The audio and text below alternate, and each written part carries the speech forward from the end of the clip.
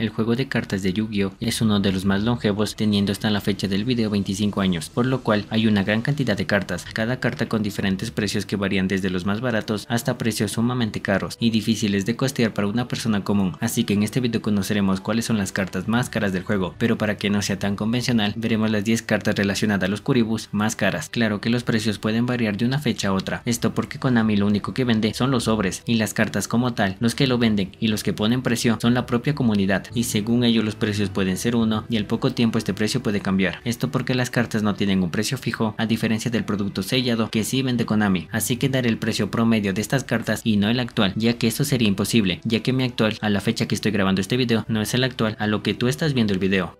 Pero antes de comenzar deja tu me gusta y suscríbete si no lo estás, también considera ser miembro para ayudar mucho más al canal.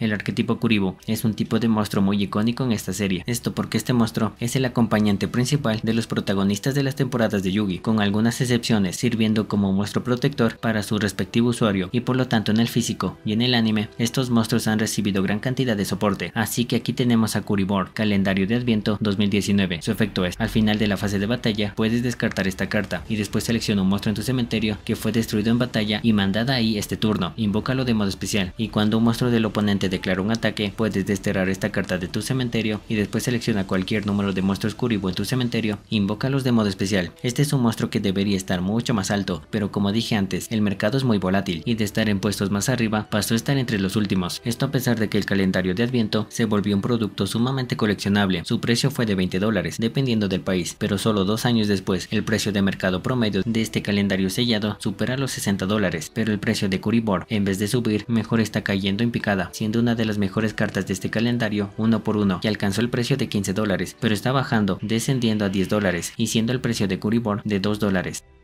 Artista amigo Curibubble, calendario de Adviento 2019, ultra rara, carta usada por Yuya en el manga de RB. El efecto de esta carta es, cuando un monstruo del oponente declara un ataque directo, puedes invocar esta carta de modo especial desde tu mano, y si lo haces, cambia el objetivo del ataque a esta carta, y procede el cálculo de daño, y si fueras a recibir daño de batalla de esa batalla, ganas esa cantidad de puntos de vida en su lugar, igual que el caso anterior, su precio no hace más que caer, siendo una de las 7 cartas ultra raras de este producto, su precio aproximado es de 2 dólares con 50. Esfera Kuribu, Speedwell, Arena de las Almas Perdidas. El efecto de esta carta es cuando un monstruo del oponente declara un ataque, puedes mandar al cementerio esta carta de tu mano y cambia la posición del monstruo atacante a posición de defensa. Y cuando invocas por ritual, puedes desterrar esta carta de tu cementerio como uno de los monstruos requeridos para la invocación por ritual. Y la verdad no sé nada de Speedwell, solo sé que este monstruo se imprimió en Dimensión del Caos en el juego normal y en legendarios en Speedwell, esto por primera vez, y luego siendo reimprimido en los diferentes formatos, ya sea el juego normal o Speedwell, y la impresión ultra rara de Esfera Kuribu en Speedwell Arena de las Almas Perdidas es la versión más apreciada de esta carta, con un cómodo precio de 3 dólares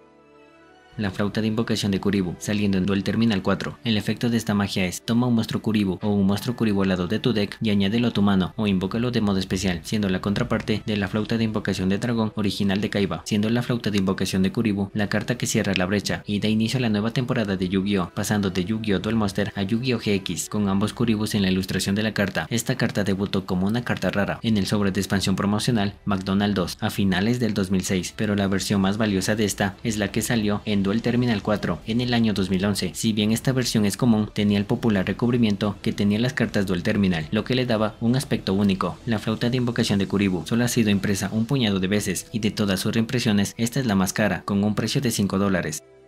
Alado nivel 9, GX manga promo, carta ultra rara. Su efecto es, durante el turno de cualquier jugador, como eslabón de cadena 3 o mayor, puedes invocar esta carta de modo especial desde tu mano. Las cartas mágicas que han sido activadas son desterradas en vez de ser mandadas al cementerio. El ataque y la defensa de esta carta son iguales al número de cartas mágicas en el cementerio de tu oponente por 500. Solo puedes controlar un alado nivel 9 boca arriba. Esta carta debutó en la promo pack Manga GX Serie 3, para luego ser reimpresa dos años más tarde como una carta secreta en colección legendaria 2, un año después apareció como una carta rara en el Mega Pack Ra amarillo y luego no lo volvimos a ver, alcanzando su primera versión un precio de 10 dólares. Kuribu, legado prohibido, carta secreta. Su efecto es, durante el cálculo de daño, si el monstruo de tu oponente ataca, esto es un efecto rápido, puedes descartar esta carta de tu mano y no recibes daño de batalla de esa batalla, siendo este el primer Kuribu de todos e incluso el considerado la primera trampa de mano, aun cuando estas cartas no tenían un nombre como tal, y al ser una carta tan icónica, perteneciendo a los dos Yugis, al Yugi chiquito, Yaaten ha recibido muchas reimpresiones, en serio, muchas reimpresiones, pero ahora la que nos interesa es la del legado prohibido, ya que de 15 impresiones que ha tenido el arte original de Kuribu, esta es la carta más cara, pero aún así sigue siendo bastante accesible. En caso de que te guste coleccionar Kuribus y tengas un presupuesto limitado, esta versión de Kuribu es una de las más caras debido a que más de la mitad de todos los Kuribus son simplemente cartas comunes, solo con unas pocas super y otras ultra, alcanzando el Kuribu del legado prohibido un precio de 10 dólares con 50. Y la verdad esto me parece un poco decepcionante, ya que este es uno de los monstruos icónicos de la serie, y que sus rarezas y su prestigio no sea tan valorado en realidad decepciona mucho para lo que fue Kuribo en el anime, por lo que creo que este monstruo se merecía mucho más como carta coleccionable, pero hay una versión más de Kuribo, y es la de Dual Terminal, con un precio de 16 dólares, pero siendo su precio muy inestable, ya que un rato puede subir y al siguiente su precio baja drásticamente, siendo el precio de Kuribu, del legato prohibido, mucho más estable. Segunda arte de Kuribo alado, promoción de la Liga de Duelistas Púrpura. El efecto de esta carta es, si esta carta en el campo es destruida y mandada al cementerio, por el resto de este turno no recibes daño de batalla. Las cartas que tienen un segundo arte no son muy comunes en este juego, con algunas pocas excepciones que superan las dos ilustraciones, como el Mago Oscuro o el Dragón Blanco de Ojos Azules, así que cuando debutó esta nueva versión de Kuribo alado, que debutó como una carta promocional en el juego de la Game Boy Yu-Gi-Oh! GX Duel Academy, llegando a ser una gran sorpresa, incluso cuando el anime de GX estaba recibiendo críticas mixtas. El primer curibolado con el arte que todos conocemos apareció por primera vez en el sobre de expansión Milenio Perdido en el año 2005, así que esta segunda arte, que salió un año después, se convirtió en una de las favoritas para los fanáticos, alcanzando los 12 dólares. Esto también debido a que sí salieron algunas reimpresiones de la segunda ilustración de Curibolado para el evento Liga Duelista, que este es un programa de eventos donde los duelistas más jóvenes y menos experimentados pueden batirse duelo contra otros duelistas de su mismo nivel, pero de cierta manera estos eventos eran raros porque durante gran parte de su tiempo este evento solo permitía a niños, por lo que mayormente estos curibus fueron entregados mayormente a personas que no sabían su valor a futuro y no fueron conservados de la mejor manera y desde aquí ya vamos con precios que no cualquier persona soltaría y pagaría por un cartón, según la ilustración de Kuribu, saliendo en Poder del Caos Yugi T Destiny con una rareza secreta prismática. Esta segunda ilustración difiere mucho de la primera, ya que a simple vista parece otro monstruo completamente diferente, al tener un pelaje y color de patas diferente al original. Es como este monstruo que parece un Kuribu, pero no es un Kuribu. A simple vista esta carta parece tener este mismo caso, pero no, es el mismo Kuribu, pero asemejándose más a ser un fantasma, por sus tonos más oscuros y la pose, y a diferencia de Kuribo que recibió muchas reimpresiones y la mayoría de estas comunes, la segunda arte no tuvo tantas reimpresiones y con su rareza prismática de hace 28 años alcanza los 40 a 50 dólares.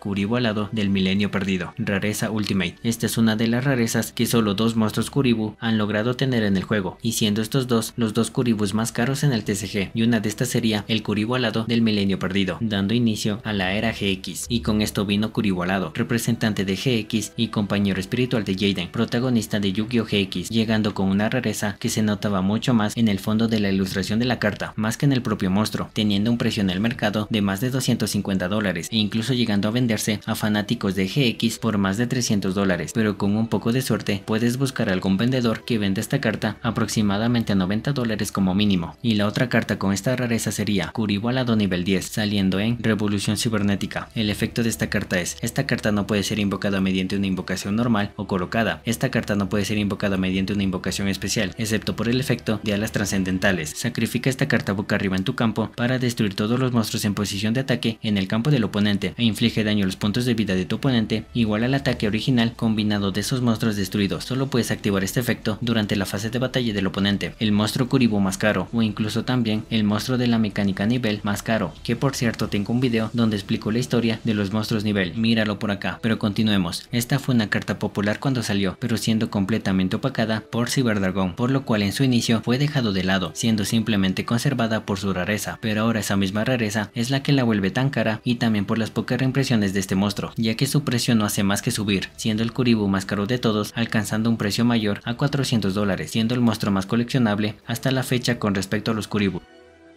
Y dime cuál de estos Kuribu si los tienes y cuál te gustaría tenerlo y sobre todo si estarías dispuesto a gastar grandes cantidades de dinero simplemente por un Kuribu. Déjamelo ahí abajo, dale me gusta si te gustó el video, comparte el video con tus amigos y grupos para que este llegue a más personas y me inspire a hacer más contenido. También quiero agradecer a los miembros del canal ya que es una ayuda adicional a todo esto. También puedes seguirme en mi segundo canal de anime y manga, dale el puto botón de suscribirse y adiós.